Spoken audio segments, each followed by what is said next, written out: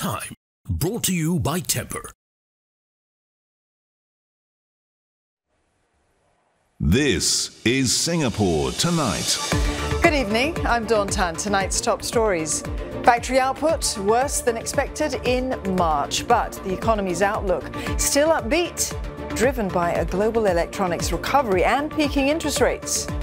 A new sports scholarship in the works for promising young athletes. It will help with expenses of their undergraduate studies. Resale prices for Singapore's public housing flats climb for the 16th straight quarter. Analysts warn that they could keep on rising in the next few months.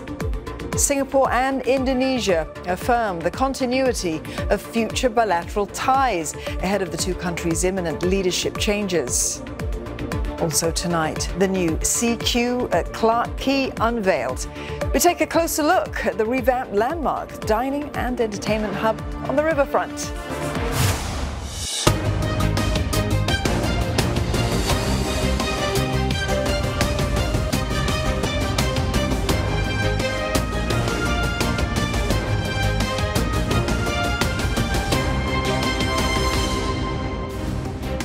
Also tonight, a high stakes visit in China as President Xi Jinping tells America's top diplomat China and the United States should be partners, not rivals.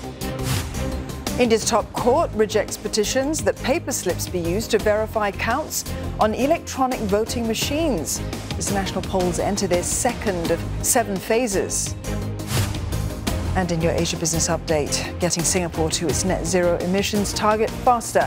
Oil giant ExxonMobil opens a $60 million facility to research low carbon solutions. Plus, mining giant Anglo American thumbs its nose at bigger rival BHP's $39 billion offer, saying it's too undervalued.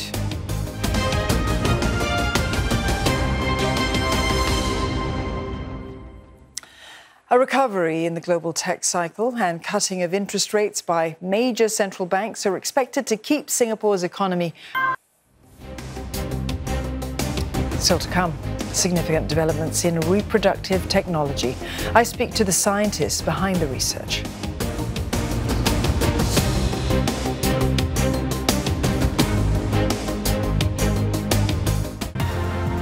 So far. That's a wrap for Singapore Tonight. Don't forget headlines anytime at cna.asia. Plus, we're also on Facebook, YouTube, and X. Good night.